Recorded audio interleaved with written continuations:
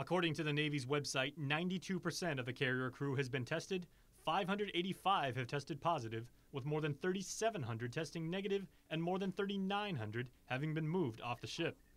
During Monday's media briefing, Joint Region Marianas Commander Rear Admiral John Menoni, however, was guarded with giving any other specifics.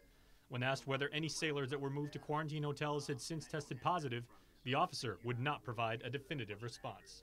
I'll just tell you again uh, anybody who said that's any symptoms is immediately evaluated, immediately pulled out of the hotel. Admiral Menoni did, however, confirm that one sailor that broke quarantine was removed and is currently under investigation. There was a break of a quarantine uh, in one of the hotels. Uh, that sailor, as I committed to the governor uh, and and the community of Guam, that sailor was pulled then from the hotel. it was all internal to the hotel. That sailor was pulled from the hotel, taken back to Naval Base Guam.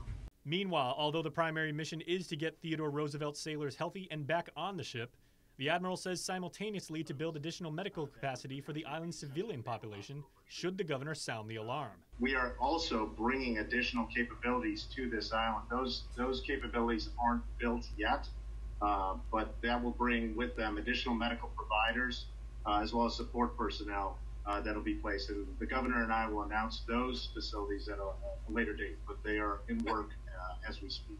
Menoni does add that request, however, has not been made by the governor.